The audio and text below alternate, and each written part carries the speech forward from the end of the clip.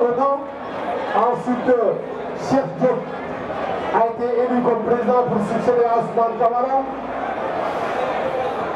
Pendant trois ans, après Chef Diop, il y a eu Pape qui était le troisième président pour le compte de la zone du Après un an, il devait laisser le soin à celui-là qui a perdu sa famille il y a quelques jours.